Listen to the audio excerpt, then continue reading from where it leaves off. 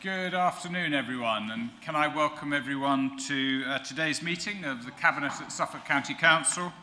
Um, just a few things we just need to run through. Uh, this meeting is being webcast live and will be available to watch subsequently on the County Council's website. Uh, members of the public and the press may also record, film, photograph or broadcast this meeting when the public and press are not lawfully excluded. Provided due courtesy and respect are shown to others in attendance, in line with the County Council's published guidance. Uh, there are no plans for a fire drill today, so if the alarm does sound, can we please leave the chamber, follow the fire exit signs to the rear of the chamber, and fire evacuation instructions can be found on page four of the agenda. Uh, and if I could just ask everyone to make sure their mobile phones are either off or on silent, and also um, could I ask everyone just to turn down the volume on their computers as well? Because um, last time we had a sort of uh, an echo chamber of pinging when an email went out to all councillors. I think that would be helpful. Thank you. Okay, first item on the agenda is apologies for absence. Do we have any, please? There are no apologies for absence received to, for today's meeting. Thanks very much. Um, next item is declarations of interest and dispensation by Cabinet members. Do we have any? None received. Thanks very much. Okay, the uh, next item on the agenda is the minutes of the previous meeting, which are laid out in our uh, papers, agenda right. Oh, there are no minutes in my papers. Oh, yes, they are. I'm sorry, I've gone to the wrong page. Page five, uh, agenda item five, page five. My apologies. Um, so they're on page five, six, 7, 8, 9, 10, 11, and 12. Um, is everyone happy with those? I sign them as a true record of the meeting. Is that agreed? Agreed. Agreed. Thank you. I'll do that after the meeting. Okay, next we move on to public questions. Uh, we have two public questions. Uh, the first one is from Mr. Adam Robertson, who's um, not here today. Um, so I will read out the question and then ask uh, Councillor West to respond. Uh, so the question is, when will Suffolk County Council agree to a second speed and volume survey along London Road? I'll get this wrong. Gisleham, thank you. Um, after the police caught one car doing 104 miles an hour after doing speed checks. Councillor West. Uh, Thank you, Councillor Hicks.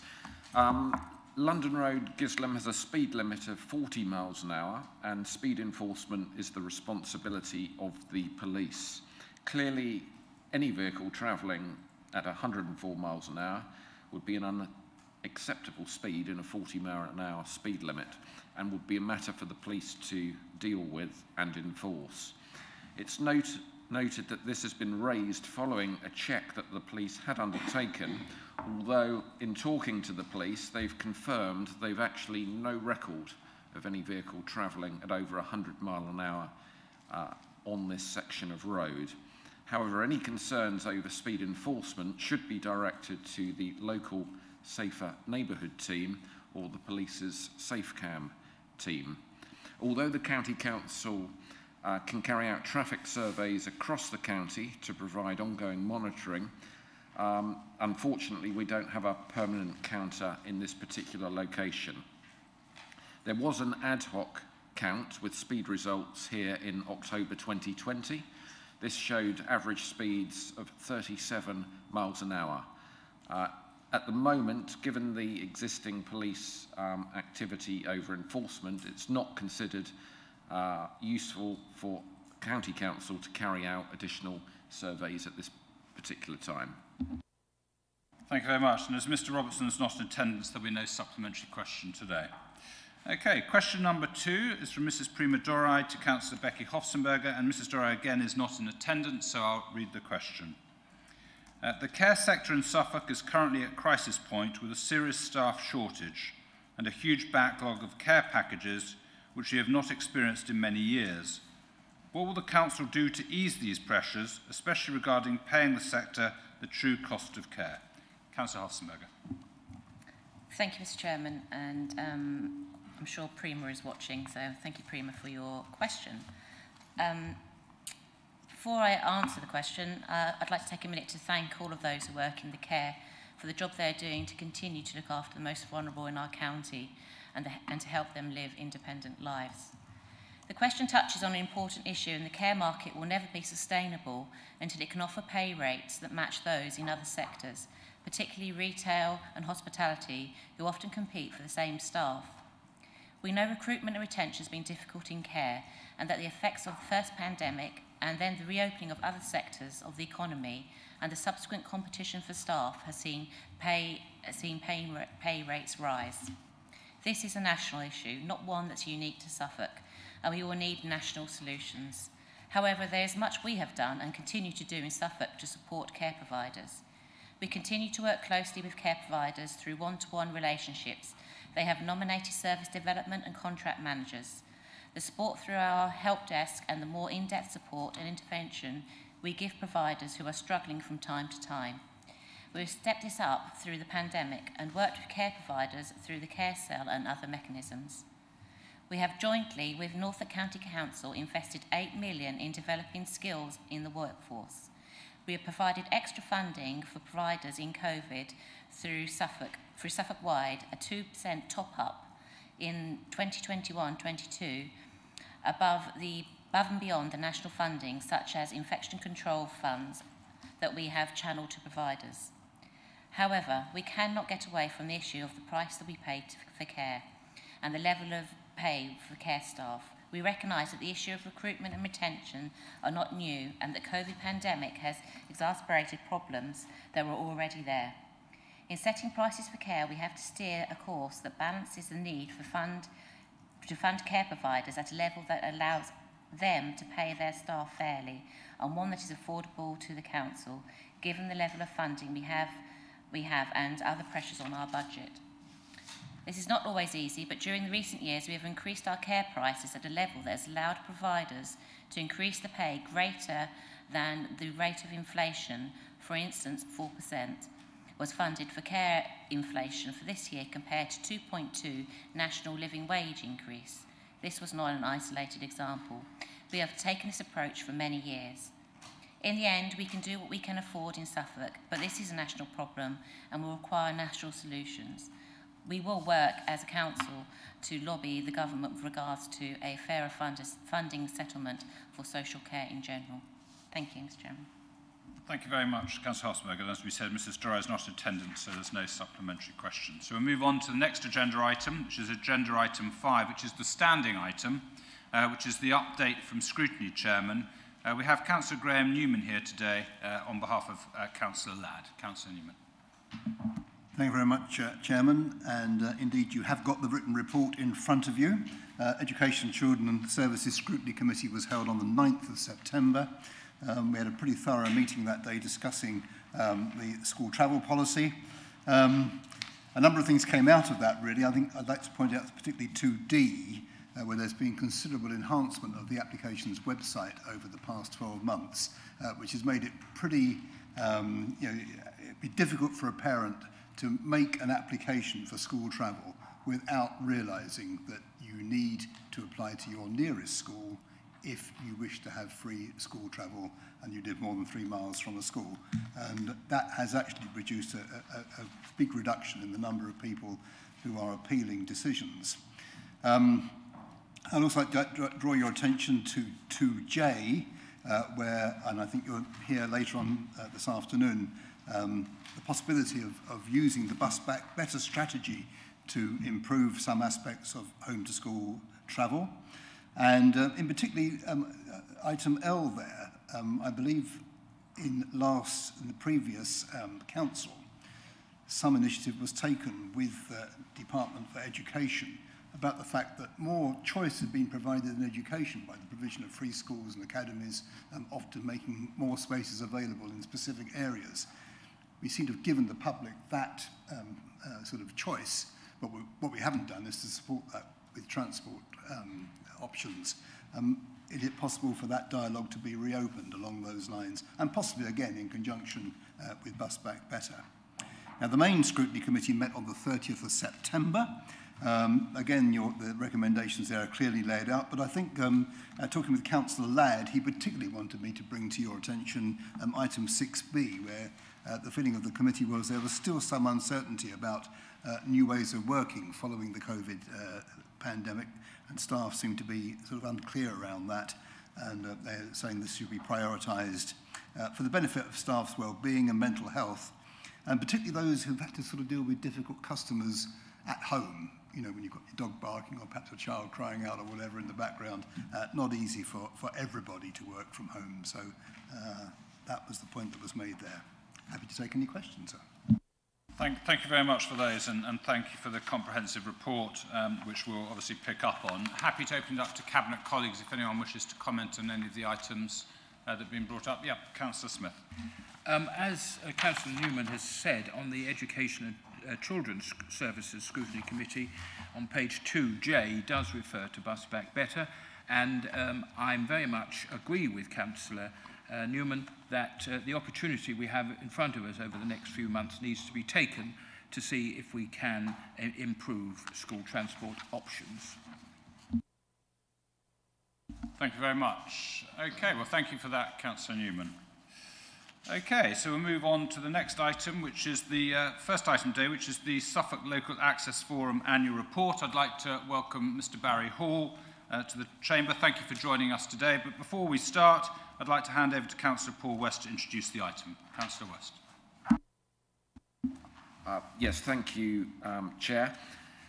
I too would like to welcome um, Mr Barry Hall, who I'll be handing over to in a moment. Mr Hall is the chair of the Suffolk Local Access Forum and will be giving the report for 2020-2021. But before I hand over, just a few words about the Access Forum. The County Council, as the Highway Authority, has established a local access forum um, that's in line with Section 94 of the Countryside and Rights of Way Act uh, in 2000. The members of the forum are independent and represent those involved with access to the countryside, including landowners, um, general users and those with conservation interests. Uh, the role of the Access Forum is to provide strategic advice on the improvement of public access to land in their area for the purposes of open air recreation and the enjoyment of the area and to other such matters as may be prescribed um, by the relevant um, act referred to a moment ago. So members will have um, had chance to read the written report, agenda item 6, but are now, I'm now pleased to hand over to Mr Hall to give um, his presentation of the report, and then following that, we can refer back to you, Chair, and then perhaps have questions from members. Thank you very much for that introduction and thank you all for letting me come here again. Uh, last year, as we know, it was virtual and I found that very difficult, so it's nice to be here in person. If you look at our report, you'll see it probably looks very much like it has for the last few years. I think it's basically because all these big energy schemes have taken an awful lot of time. Sizewell C inquiry hopefully is now closed and we were continually pressing for the resolution of several access issues within the, the um, EF, uh, within the inquiry, particularly a resolution to the alternatives for Bridleway 19, which is going to be closed for 10, 12 years, who knows, and also particularly for getting the coast path off the beach and onto the top of the new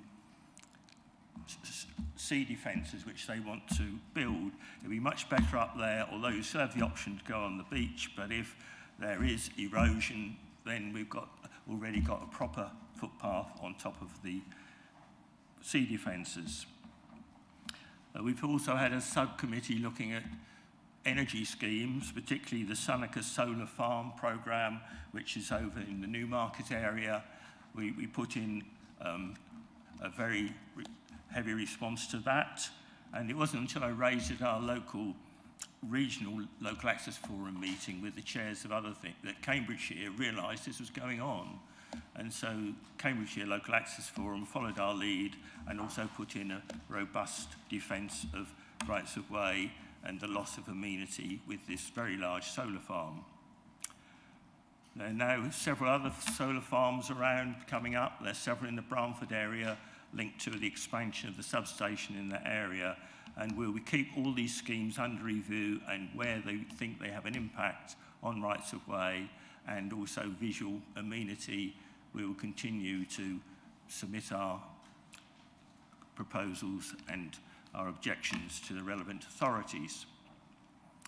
Uh, Network Rail lingers on despite a uh, resolution of the Transport and Works Acts inquiry well, well over a year ago now. There's been let, very little movement on closing the ones they're allowed to close and also looking for alternative routes on some which there are some other issues. Gypsy Lane carries on for many years. That has happened. You, you hear it every year. We're waiting for Network Rail to close that by providing an alternative route which has been agreed at, by a, a planning decision, a planning inquiry in 2019. Nothing has happened. We're also concerned that Network Rail are replacing stiles, not with kissing gates, which would make it easier for people to cross the line where there is the proper visibility, but with metal stiles. Now, that's not really accessible for people with limited mobility and for other issues. We are pleased that um, Highways England are actually now getting involved in looking at the problem where rights of way cross the A14 there are areas at Trimley and in other places where they're looking at with the county council of alternatives to, to stop these very dangerous crossings. I mean, if you drive along the A14, you see the sign saying pedestrian crossing, you know, and you're going 70 miles an hour, and if somebody's trying to cross, it's, well, I've never seen anybody trying, but we don't. Uh, they're looking at improvements also to the Copdock interchange, which could improve, improve the accessibility between Ipswich and the Belstead areas, and also a, a revisit of the Wherstead interchange on the A137 will hopefully improve the crossing there in, into Bobbitt's Lane.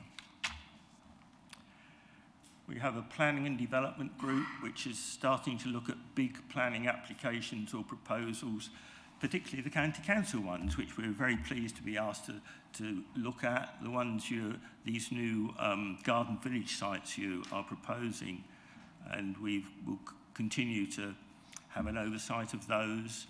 And we've also met with the planning officers for the districts, and they've laid out their um, proposals of how they're looking at big, big sites.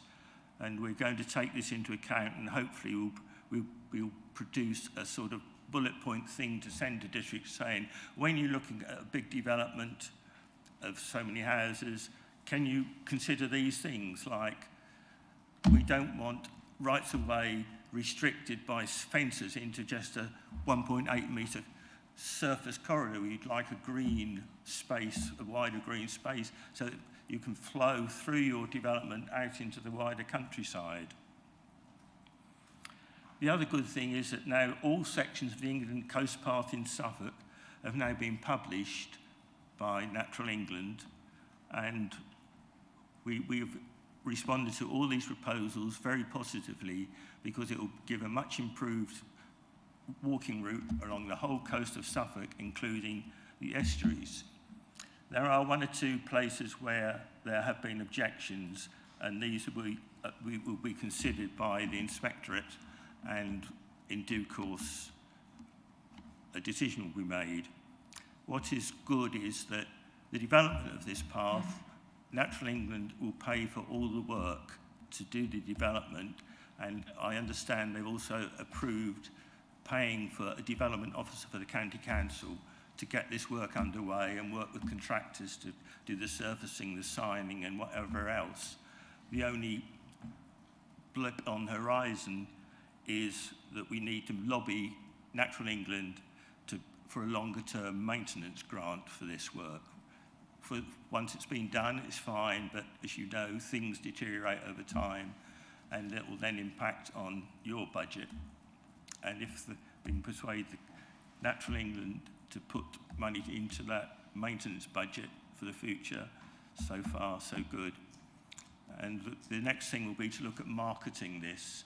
I mean, we know the Southwest Coast Path brings in huge numbers of people, but because it's being marketed nationally, we're looking perhaps at a more regional path, the Norfolk coast, the, the, uh, the Suffolk coast, possibly Essex, and, and getting that promoted as a regional route to bring people in to walk it over a period of time, and that will bring it, money into the economy of Suffolk. We're very pleased to see that funding has been given for the Discovering Suffolk project and enable many people to use our net network, uh, our rights of way network, either as a visitor or even as a local who are not aware of it. and that we look forward to the Suffolk Walking Festival taking place in 2022.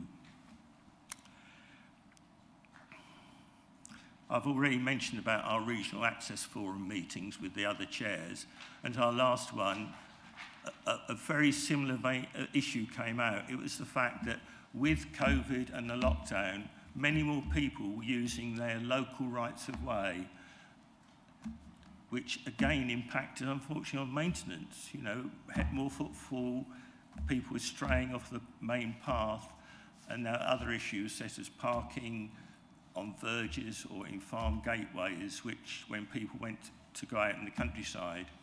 But it has, does mean that what we've always said is that people be able to get out into their local environment. It helps their well-being, their physical and mental well-being. And uh, we, we hope that you will recognise this, that, that, that it, it, it's cheaper to maintain a footpath than spend money having to put, give, give people, what should we say, uh, medication or, or, or counselling for, for, for other problems if it can be done just by walking in the fresh air. Finally, I think I'd like to thank Andrew Wooden and his Rights of Way team and David Falk and his Green Access team for their help and involvement with the Local Access Forum. And also for you, the County Council, for your support for the improvement and maintenance and promotion of our well-used County Council rights of way, which also brings significant income into the County of Suffolk. Thank you.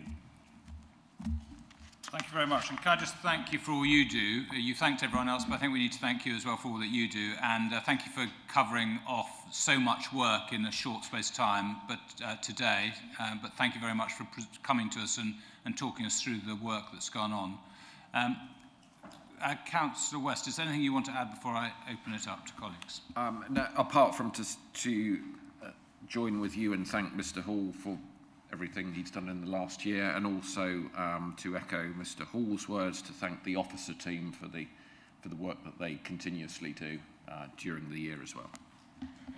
Thank you very much. So I'm happy to open up. Yep, Councillor Smith and Councillor Rout. Uh, just a quick comment from me, Chairman, if I may, and I'd like to echo the thanks to Mr Hall and the Forum, especially about the remarks he made on Sizewell C.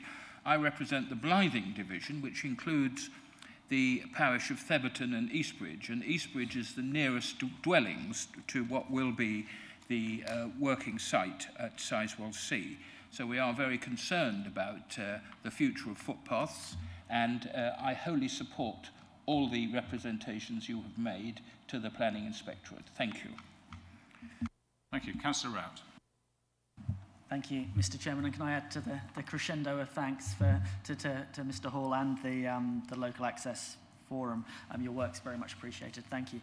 Um, I'll start by just uh, welcoming your remarks, I think, around how spending or maintenance of our natural environment um, can offset costs elsewhere. And I think it's, it's, it's, it's something we don't necessarily talk about enough. Um, but it's something highlighted, uh, I believe, in the Dasgupta report earlier this year that, that, that enjoyment of our, our natural environment can really um, minimise uh, the strain on, on central government and indeed local authorities.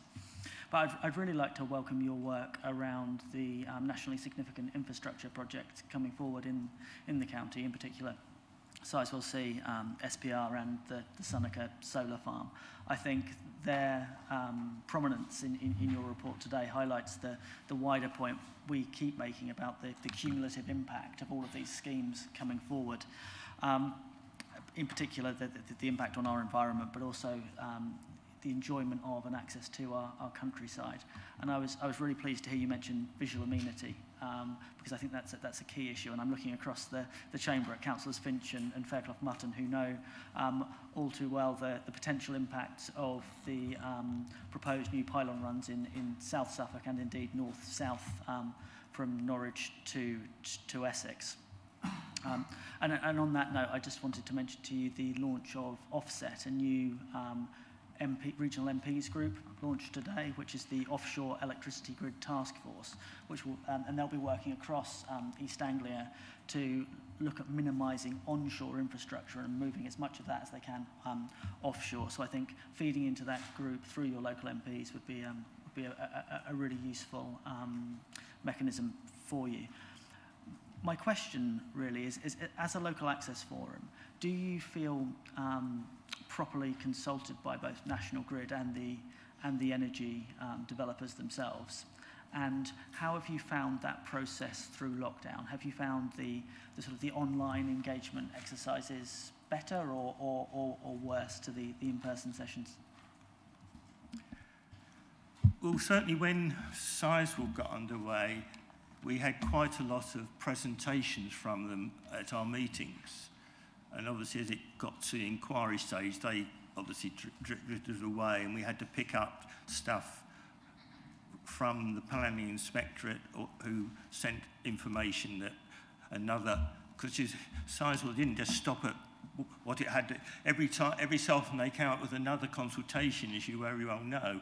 I mean, the latest one was about the temporary desalinisation project, which didn't have APTUS implications, but it just shows they didn't get all their ducks in a row before they started. Um, we have found it more difficult when we have working online to, to get information um, and having to more rely on being relayed by our the, my friends behind me really to us that oh this has happened or this is and and then, so we have to sometimes we've been playing catch up, quite honestly, and certainly the fact that because of lockdown, none of the inquiries were actually in person. It was very difficult to, to monitor what was going on. So uh, we, we now await with trepidation, I think, um, some of the, the conclusions from the inquiries. Um, and hopefully that some of the, many of the points we put to the planning inspectorate will have been taken up and, and would, will be worked into whatever, if there is a, a, deci a, a decision in favour, that there'll certainly be conditions on things like the alternative right of way 19 and those sort of things, which we've, and also legacy, which we've asked for a legacy of, of, of you know, if, they, if you're taking something away for 10 years, you want something better given back at the end of time, you know. So we're looking for something very good on the legacy issue through the Section 106 agreements. Thank you very much. Any other Cabinet colleagues wish to come in? No? Happy to open it up to other colleagues. And first up is uh, Councillor Vigo de Galidoro.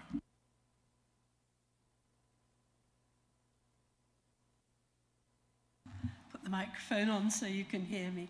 Mr Hall, thank you very much for all the work you're doing with the uh, Local Access Forum. I served on the Broads Local Access Forum for a couple of years and it's amazing just how many issues that are uh, thrown up.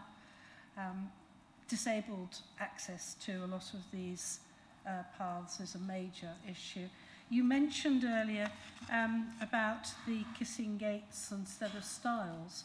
And that's something that people in Carlton Colville have asked me about very recently. Um, they can't get access to across certain areas because they're stiles and they're too old now to climb over the stiles. And I just wondered how many we have of those in the county and uh, what progress you feel you are able to make on them. I've no idea how many stiles. I know ones I've used, my wife has problems with her knees and she has trouble climbing over some of the stiles. Some are very rickety. I mean, um, I, I'm not sure whether they're la landowner responsibility or the county council. I think they're probably landowners. Uh, in theory, if there isn't stock in the field, there'll be no need for a stile. And if there has to be a stile, a kissing gate is far better, provided it's a properly sized one. I've come across some homemade ones where you have to go. you could never get a pushchair or, or a wheelchair through them. Um, I know that the rights away officers out on the ground are always obviously checking on these things, and if they find them, that they will, will, will do something. But I, I mean, really, the aim is to try and get, if stiles are needed, then they should be kissing gates if possible. If the stile is redundant, take it out. I mean, quite often you have seen gates and stiles, and the gates are always open now because there's no stock, so you don't need the stiles, so that's all overgrown, that's fine. But I, I agree with you, you know, to make countryside access has got to be made as friendly as possible for all users, no matter who they are. You know. Thank you. I think it's probably the, the live, livestock still require more than a kissing gate to make sure oh, yes, livestock yes. is uh, safe. I mean, the other problem, from that. the other pro we have uh, a member of our forum who who farms in the um, in the sort of Westerfield that area, of the Fynn Valley, and she has great problems with dogs worrying her sheep and, and killing her sheep. You know, because people don't respect the fact that there is livestock in the field, they've been asked to keep their dog on a lead, because they don't, or they use these retractable leads and the dog go, you know.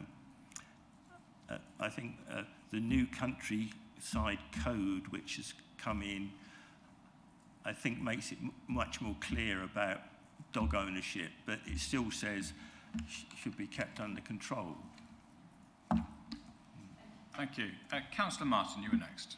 Uh, thank you, Chair. Yes, um, uh, Mr Hall, you uh, mentioned the problems that some people have had with uh, uh, unhelpful parking of people who are using uh, footpaths in particular. Um, clearly, we want people to uh, go for walks. We want people to use footpaths. But it's going to be better for everyone's health and the environment and indeed for local residents as well if they can walk directly from uh, their home or indeed can uh, reach there by public transport.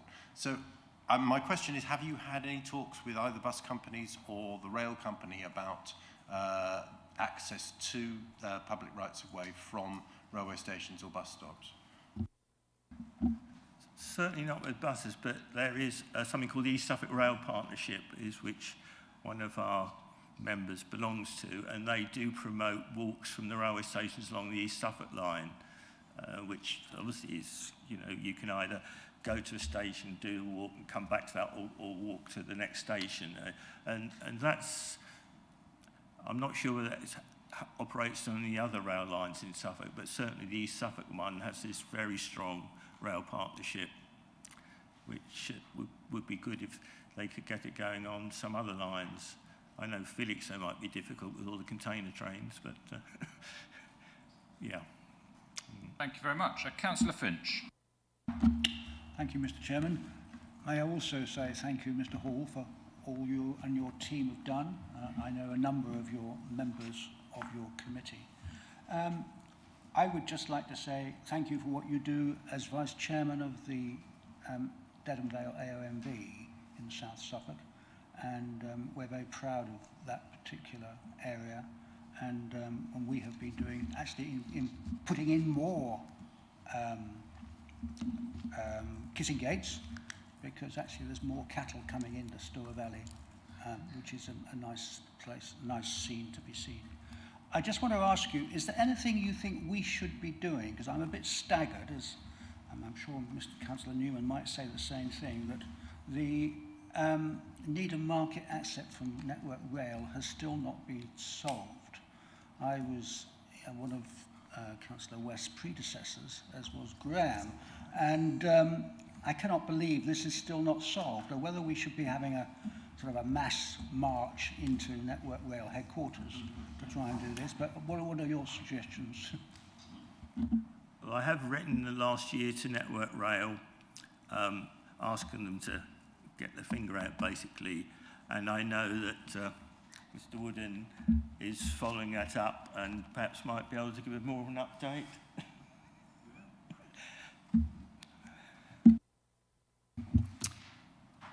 Councillor Finch, I'm surprised you are shocked that it's taken Network Rail so long. Um, but it is their project. It's run into engineering difficulties with the alternative route, which is through the culvert, you'll recall. Um, there are engineering challenges there, partly because of, um, should we say, difficult negotiations with the landowner. So it's not been a perfect relationship there, and that has slowed the project down. Nevertheless, they are leading it and paying our expenses where, where we're involved. I think the, the, um, the one good thing I can say is the level crossing remains open. So the public still have a very accessible route through over the level crossing. Of course, that in itself is a, has been a problem. There was um, a death on there, as you know, uh, a few years ago, resulting in a £4 million fine to Network Rail, which was the impetus to them to close the crossing. The crossing is safe because there's a speed limit imposed on it. If it wasn't safe, it wouldn't be open.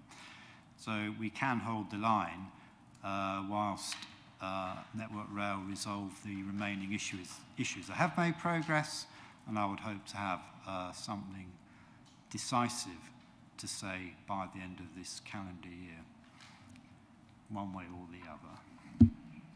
Thank you very much. You heard it in here. okay, uh, Councillor Lockington, you were next. Thank you, Chair. Um, just as I put my hand up, one of our fellow councillors up there um, mentioned uh, disabled people. And I do feel we need to do a lot more um, about making footpaths accessible for people with disability. And now speaking as a grandma, then actually I can push my grandchild in a wheelchair or in a pushchair. So, um, you know, it will make it easier for everybody. And during COVID, yes, we could go out walking for miles, the ones of us who can do that. In the countryside, it was lovely. But disabled people who may have a very good electric buggy they could get out in, but they couldn't in the countryside because the path was not there for them. So I think if we could look at Suffolk and see if there in certain areas of Suffolk can make paths where people with disability in wheelchairs can get out and take part of the open life as the rest of us can. Is that something you, you have a team that look into? We've, we've always looked for accessibility, and I know that there are areas in the county where this has been accessible paths have been built. Particularly, there's a one in Mildenhall, which is going out past the new development. That, that we we looked at that as a group a couple of years ago when we were allowed to visit places and uh, what had been done there and it'd be nice to if there as you say you can't make every path accessible but if if some are accessible from main centres of population or from where you can get to on a bus or or in a a taxi which can take you in your wheelchair it would be very good but again and it's down to you lot. I suppose it's, it's the finance. You know, your budget's constrained, and what has to be done with the budgets goes that way. And the budget, although I know you are very good at giving the rights of way, you, you, you recognise them and you, you do recognise them in your budgets, and which, for which we're very grateful. Thank you very much. Councillor Newman. Thank you very much, Chairman. Uh, just very pleased to confirm to Mr Hall, as a um, board member of the East Suffolk Lines Community Rail Partnership, that the walks booklet does indeed include the Felixstowe branch. And in fact, I think there are six walks between Ipswich and Felixstowe, which cover a, a, wide area of countryside and uh, indeed paths that interact with the A14 in places you earlier referred to. Okay, I don't have any other hands up for anyone else that wishes to come in. So, Councillor West, can I just ask you to remind Cabinet what we're being asked to decide today, please?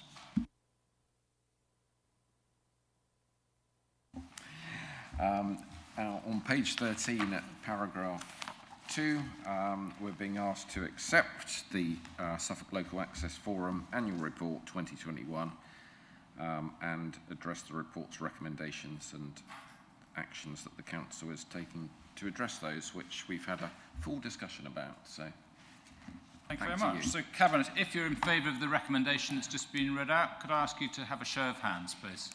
Thank you very much. That's unanimous. And thank you again, uh, Mr Hall, for joining us today and for all the work you do. Thank you.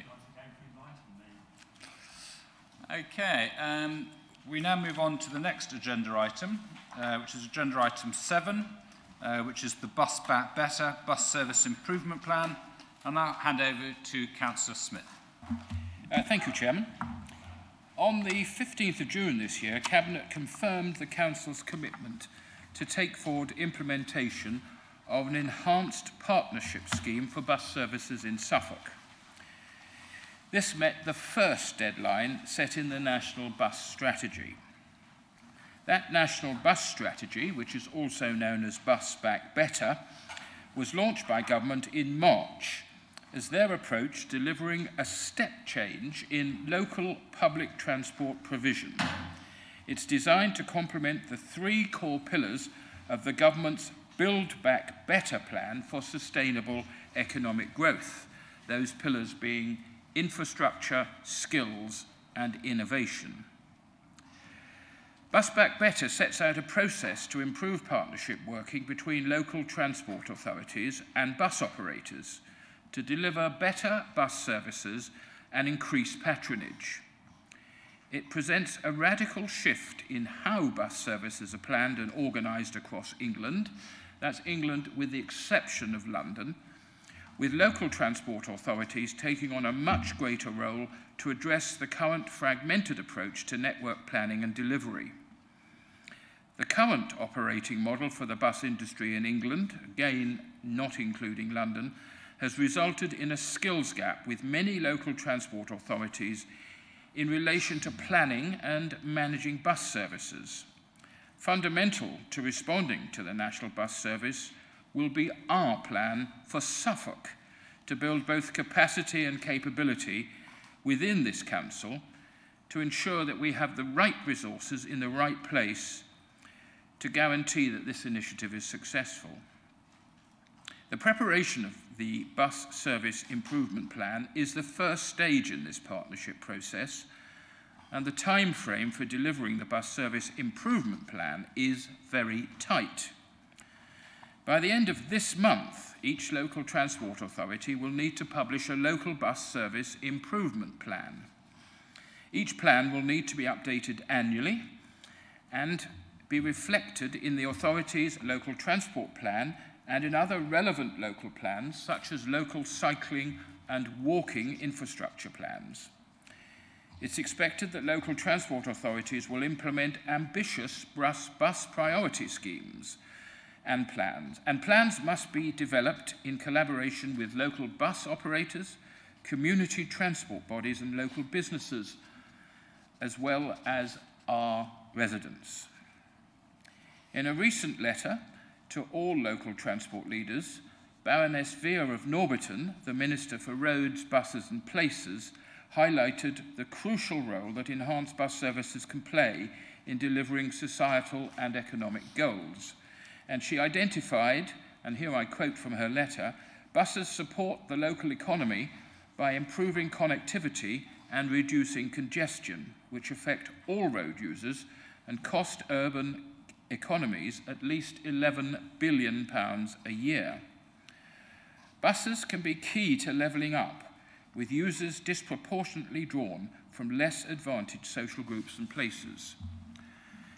Uh, Lady Vere also emphasised that buses should not be seen or promoted only as transport for those without an alternative.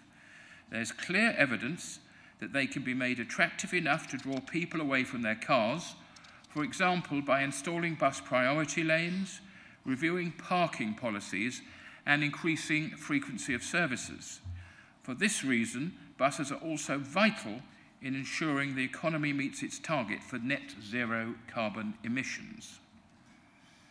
Now, Chairman, our first bus service improvement plan sets out how we propose to implement our ambition to deliver improved services that will support resilient, connected and sustainable communities across Suffolk, help meet the, transi the transition to net zero and create economic opportunities that benefit everyone. In parallel to the preparation of the bus service improvement plan is the work being undertaken to develop the enhanced partnership and the first enhanced partnership scheme.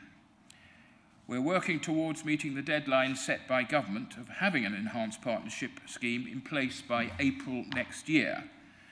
And this partnership will form the statutory delivery mechanism for implementing the proposals identified in the bus service improvement plan. Now today I present the proposals that form the basis of our bus service improvement plan and our funding ask to central government. It should be noted that the Department for Transport has recognised the challenge faced by local transport authorities in preparing proposals and estimating associated costs. They have highlighted through working sessions and general feedback that the detail in bus service improvement plans is expected to be outline in nature, with the main purpose to get each local transport authority considering the issues and possible solutions for their area. The Department for Transport has indicated that further guidance on the funding template that accompanies the bus service improvement plan is imminent. Indeed, we are expecting to hear from government this week. So, we're requesting that Cabinet agree to, de to delegate the final development, including costings, and the submission of the bus service improvement plan to the Executive Director for Growth Highways and Infrastructure in consultation with the Cabinet member who happens to be me. Uh, this will enable the Department for Transport end of October deadline for publishing the first bus service improvement plan to be met. A third Cabinet paper on this subject will be presented on the enhanced partnership arrangements, probably in March next year. This will provide details on the progress of transforming the bus service improvement plans into our first enhanced partnership plan and accompanying enhanced partnership scheme. I will be testing everybody on all these later on. Uh, this will be in advance of the April, 20, uh, of April 2022 when we have to demonstrate to government that our enhanced partnership is in place. It's important to emphasise the point made in both the Cabinet paper presented in June and today's Cabinet paper that there is a significant risk if we don't deliver our bus service improvement plan to government by the end of this month. The government have made it clear that only local transport authorities and operators who meet the requirements of either progressing an enhanced partnership or franchise arrangement for bus services will continue to receive the COVID-19 Bus Services Support Grant and be eligible to receive the reformed Bus Service Operators Grant, which is currently paid to operators, and any new funding schemes, any new funding streams including those announced as part of the government's £3 billion National Bus Strategy budget. I can assure you we will meet the government's deadline.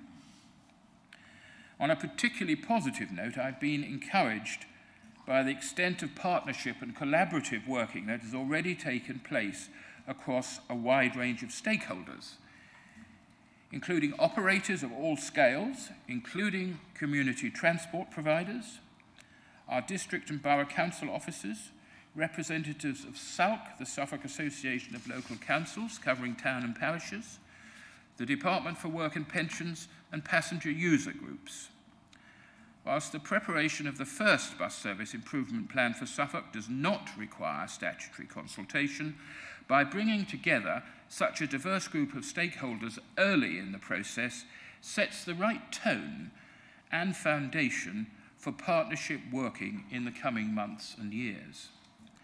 And finally, Chairman, I'd also like to note my thanks to all the councillors, and some of them are in this chamber now, who attended the cross-party workshop that was held last month and chaired by my colleague, Councillor Alexander Nicoll.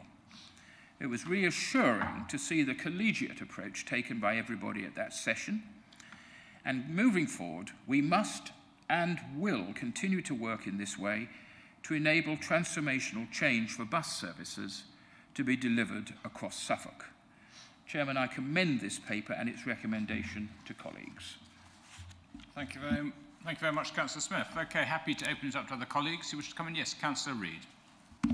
Thank you, Chairman. Uh, and thank you, uh, Councillor Smith, for bringing this forward. And I, I welcome, welcome this paper and this initiative uh, as a, a very important uh, move forward in terms of improving our bus services. Um, I note the suggestions um, for attracting people out of their cars uh, and back onto buses. Uh, and this, this is, of course, is the crucial flip side to um, creating a better network and a more usable network. Uh, uh, and I noted in um, point 75, 75 on page, forgive me, page 37, that there is the suggestion of bringing in lower and simpler fares, uh, particularly for young people. And I, I wondered if you could talk a little bit more about the plans uh, to provide uh, the incentive through lower fares should our bid uh, for funding be acceptable. Uh, Chairman, uh, th th thank you for that comment, Councillor Reid. Um, there are in the paper uh, various proposals which go from A to Q, and I didn't want to go through all of those because I thought I was already speaking quite long enough. But of course, one of those does cover low, lower fares and interconnectivity of tickets. We need to do all we can to make uh, bus services as attractive as possible and help to provide that alternative to using the car. Um, and this is one that I will be very keen on um, developing, but we're not quite at the stage of being able to make policy proposals yet. They will come in the final Cabinet paper. Thank you very much. Any other Cabinet colleagues wish to come in? Nope. Okay, happy to open this up to others. Yep, quick hands have gone up. Councillor Martin first. Uh, thank you, Chair. Yes, I mean, I want to um, agree with and strengthen what uh, Councillor Reid was just saying. Um, first of all, can I say that I think that the collegiate approach that this council is taking is absolutely the right one. Uh, I think uh, working uh, in conjunction with the bus companies and with the people uh, who represent the demand and other local authorities is absolutely the right way to go. And I'd like to congratulate Councillor Smith for doing that. Um, I, uh, however, I will remember uh, John Prescott's rural bus initiative, which I was on this council at the time, um, and uh, it mainly involved uh, having a lot of additional buses rumbling across the countryside with nobody on board. Um, and that is not actually helpful. Um, so surely one of the main planks of any Bus Back Better uh, plan has to be to stimulate demand. And as you yourself say here, uh, getting young people to start using or continue to use buses uh, is absolutely central to that. If people start getting their own cars, uh, then it becomes much more difficult to then attract them out of them. Um, in which case, can I suggest to you that 25% is actually not enough? Currently, if you are a teenager living in Suffolk and you have cause to visit London on a regular basis, you can get a card, you can get a young person's travel card, which enables you to travel anywhere in London with a 50% discount. So Suffolk teenagers can get a 50% discount in London, but when they're travelling in their own county, they can only get a 25% discount. Now, I'm not suggesting that I know the level of discount that it should be, but can I ask whether, as part of the partnership and as part of the work going forward for the plan, uh, you are going to investigate the possibility of different levels of discount, not just sticking with 25%? Uh, I'm grateful to Councillor Martin for his kind comments. But of course, there's always that word however, which comes in, and then one realizes that the comments have finished. But uh, actually, I don't disagree with you. At this stage, nothing is set. This is the stage to make suggestions. I'm not going to say that we'll do it. What I will say is that we will consider what you have to say. And I do note the disparity between the 25 here and the 50% in London. And I will ask officers to factor that into the discussions and the thinking that they'll have to do in the forthcoming six months. Thank you for your comments. Thank you. Councillor Chanchi.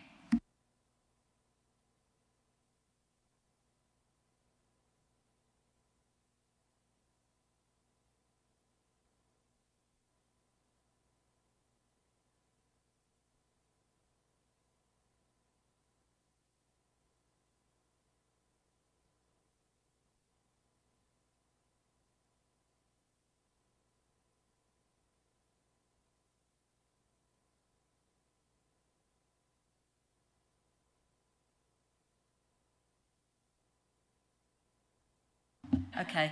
Um, perfect. You can hear me now. So, an admission. Um, I'm a car, taxi, or walk kind of girl. So, if you can convince me to get out of my car, I haven't been on a bus since 1987. And if you can convince me to get out of my car and get on a bus, you're on to a winner. And I'll tell you the reasons why I don't get a bus. So, the first thing is safety issues.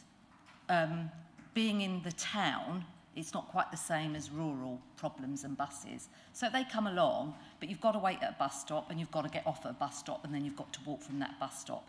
And I don't like that idea, I'm afraid. So um, I prefer taxi if it's late at night.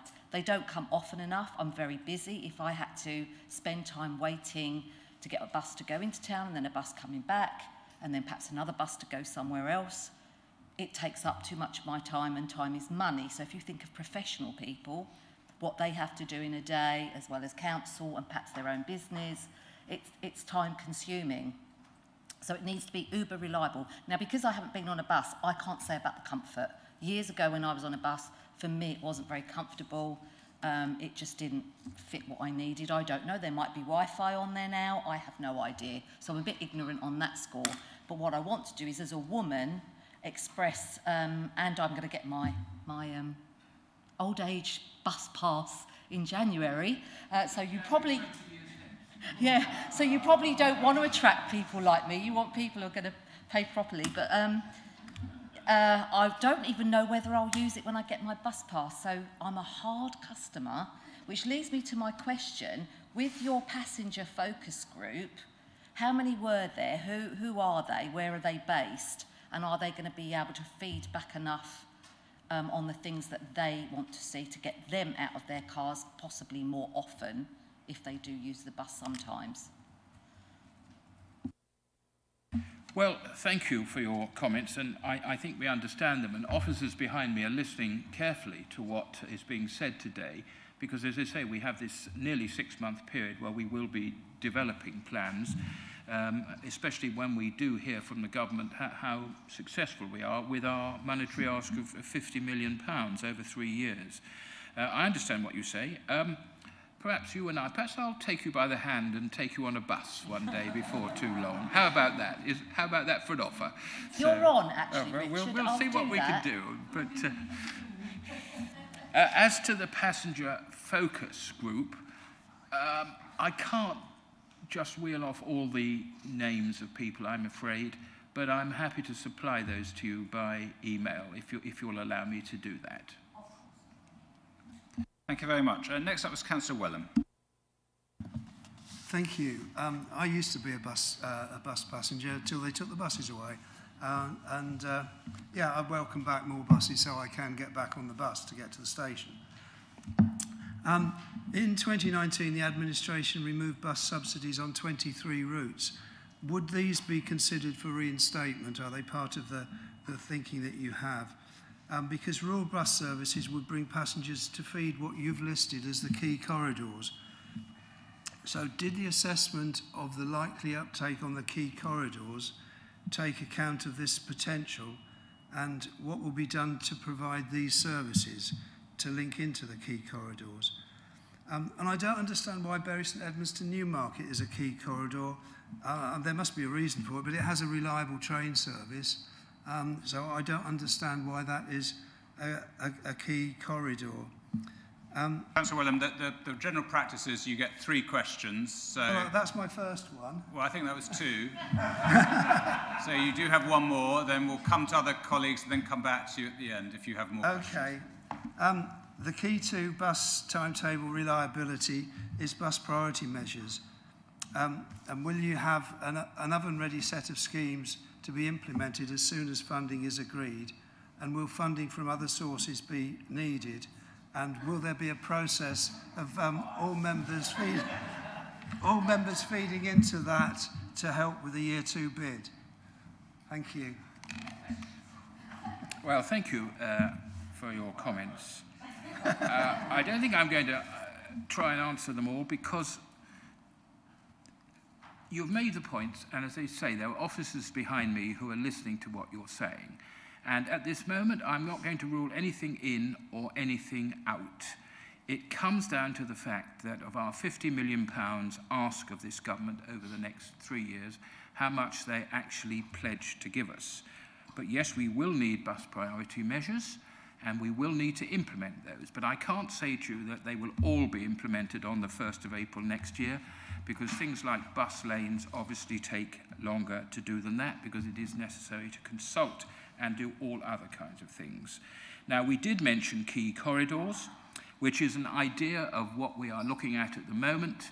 Uh, and I, I, I listened to what you say, and indeed, Woodbridge Town Council wrote me a letter saying that they wanted me to know that their view was that every single village in Suffolk should have an hourly bus service.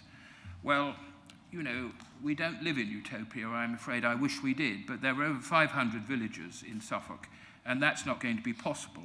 But I do hope that we will be able to um, uh, increase the number of services, some new ones, and perhaps increase the frequency where we can to make them more attractive.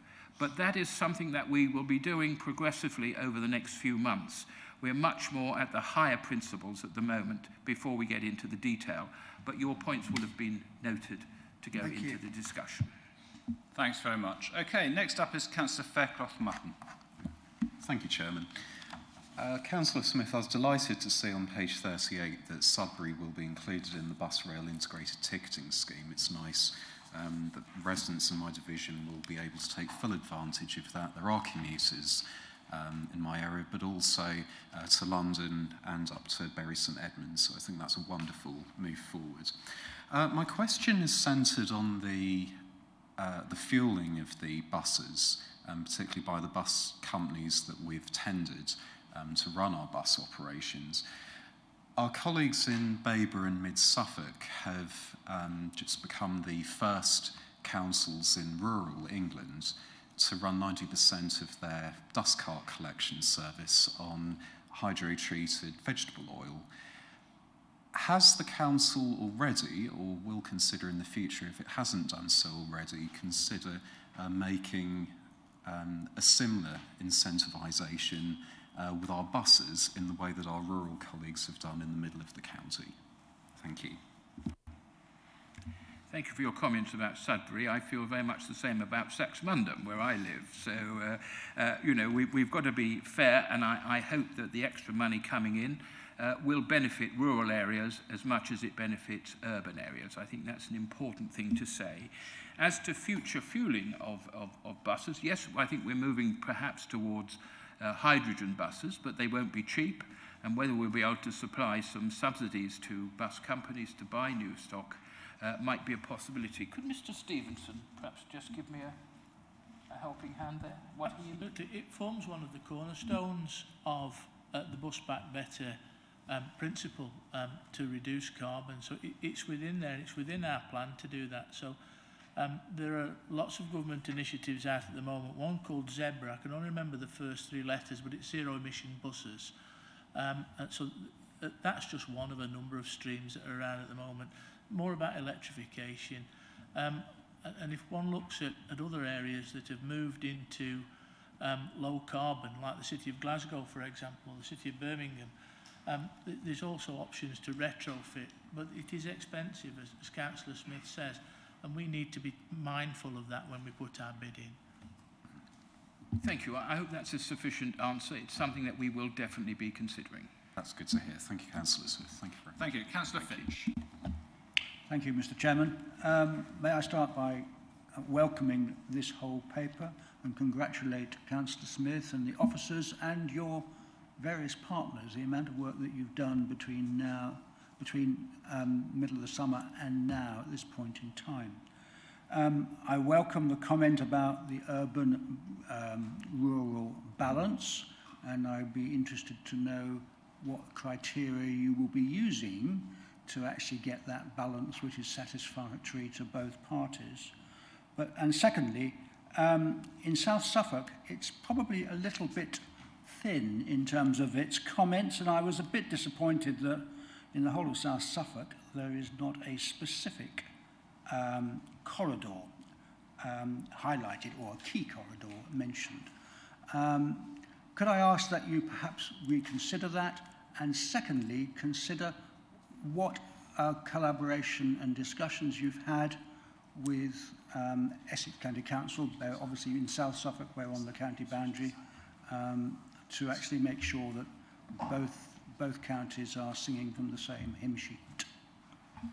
Uh, just, just to point out, Mid Suffolk's not mentioned either, Councillor Finch. So I, we can all find fault in the uh, documentation, uh, just to warn you. this is this is a high-level paper. As I say, the detail will come in the third paper, probably at the March cabinet meeting. Uh, I'm, I'm glad you approved of my ambition about the rural-urban split. We'll have to see ultimately what money we get and how best we can spend that. But I, I, I really want that to happen. And I understand about South Suffolk. I mean, it's a beautiful area. Um, and, you know, like everywhere else, I'm sure you could do with uh, more bus services.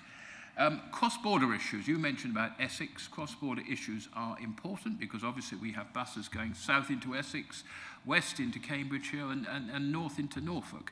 Uh, I understand that will all work fairly smoothly, but again, can I ask uh, Mr Stevenson just to comment on that, please, cross-border? We, uh, we meet with our colleagues regularly. We're aware of their BSIP. They are aware of ours.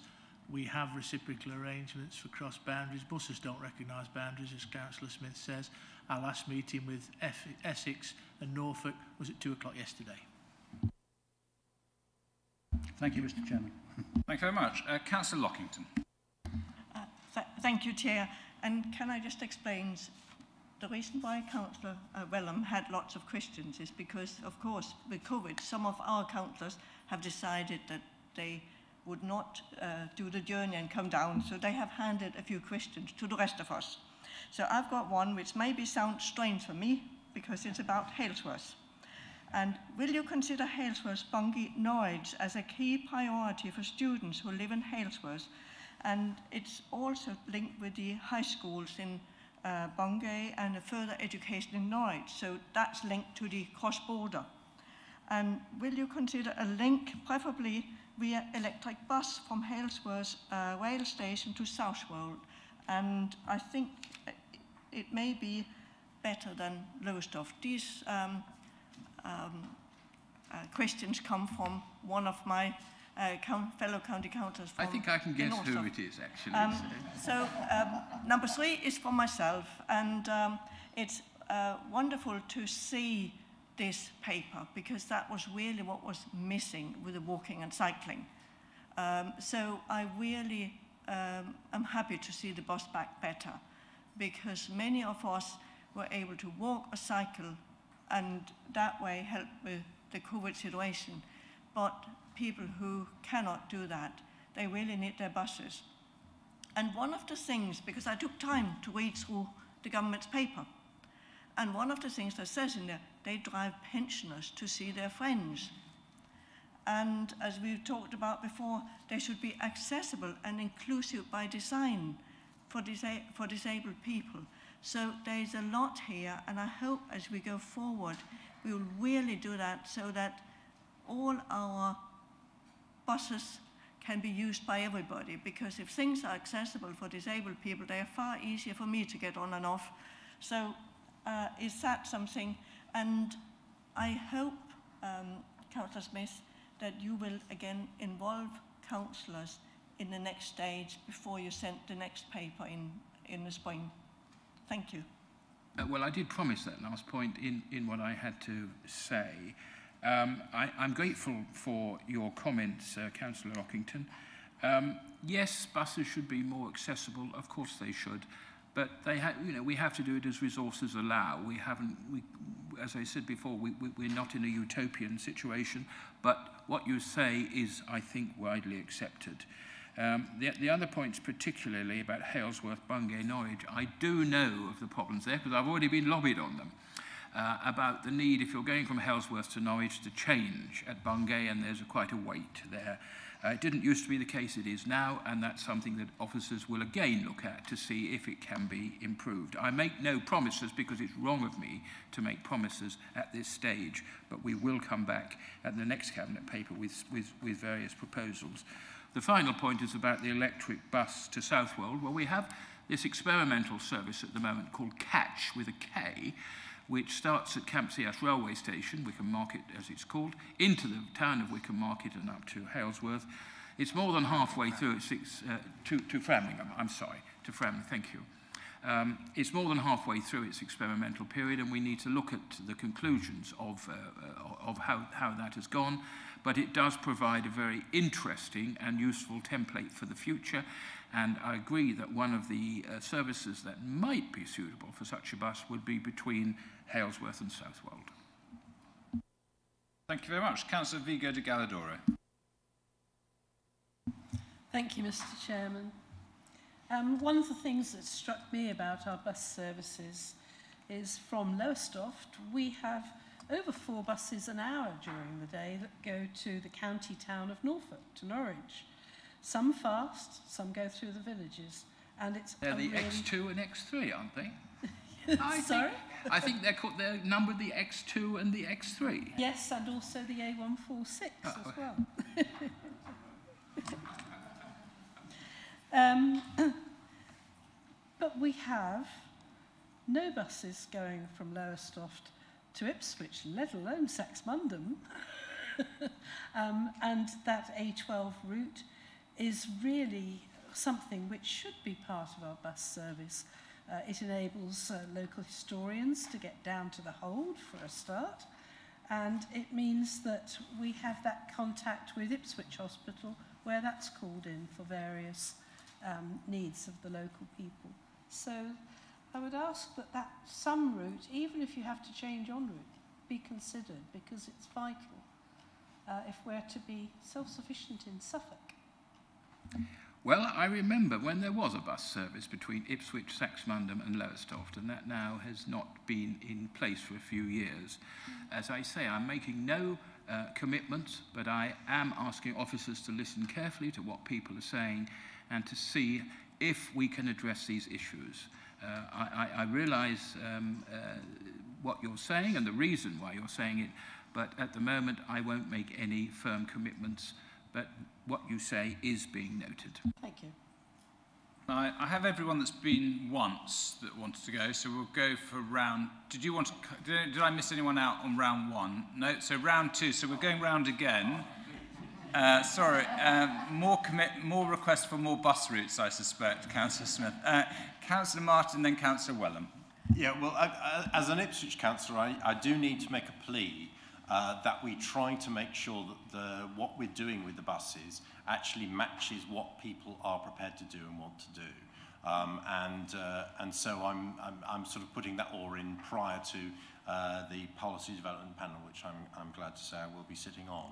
Uh, but I also wanted to uh, just say something about Halesworth, because of course I used to live in Halesworth and my family still do.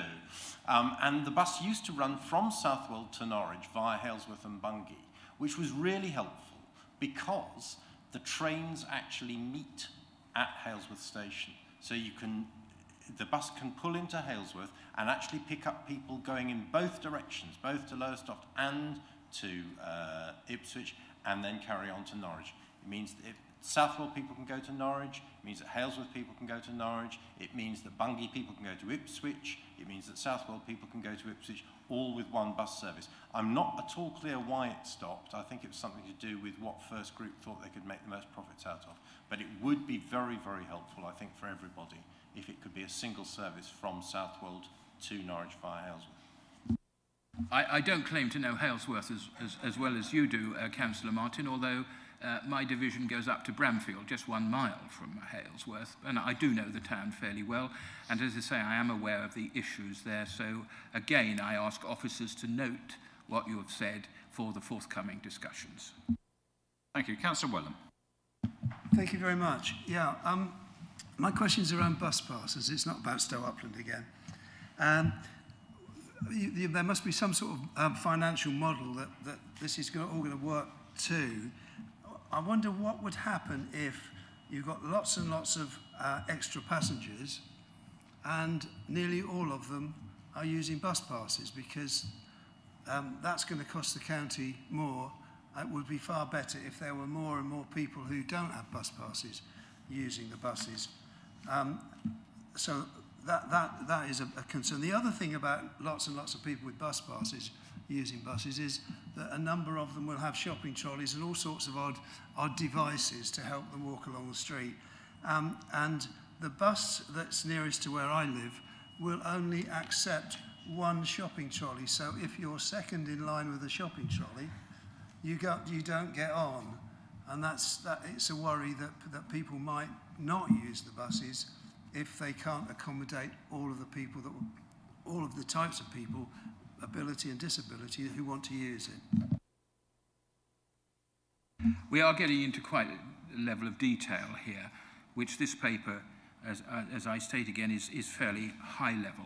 Uh, and all I can say, and, and this is not meant to be trite, is that officers are listening to what's being said, and, and, and I've noted what, what you're saying. Uh, I don't know the answer about uh, the financial model and the number of people who use bus passes and those who pay the full fare or a variation of, of that full fare. Uh, I will ask officers about that. Uh, we are reimbursed to a certain extent by the government for free bus passes, but certainly not to 100%. But um, what I can say is the issues you're raising will be recorded and we will consider them over the course of the coming months. Okay, I've got no other hands up, so thank you very much for all the questions. Um, Councillor Smith, I'd just ask you to summarise and remind Cabinet what we're being asked to decide today, please. Well, thank you, Chairman. On page 28 of the papers, uh, we're being asked to decide paragraphs 12, 13 and 14, which is to acknowledge and agree to the headline asks an order of costs contained in the proposed BSIP as set out in this report, to delegate final development, including costings and the submission of the BSIP to the Executive Director for Growth, Highways and Infrastructure in consultation with the Cabinet Member for Economic Development, Transport Strategy and Waste by the end of October 2021, and to note that a further Cabinet paper on the enhanced partnership arrangements will be provided prior to its submission in March 2022. Okay, thank you very much. Cabinet, are we in favour of the recommendation that's just been read out? Can we have a show of hands, please? Yes, that's unanimous. Great, thank you very much. Okay, well, that's the end of business for today's meeting. The next um, meeting is Tuesday, the 9th of November um, at 2 o'clock. If I can just remind councillors, please, to take all belongings, paperwork and rubbish with us. And could you take your uh, microphone smart card and put them in the collection box uh, by the exit? Uh, sorry? Okay, the box isn't quite there. It'll be there in a second. Um, and can you take your nameplate and put it on the table outside as well? And thank you very much.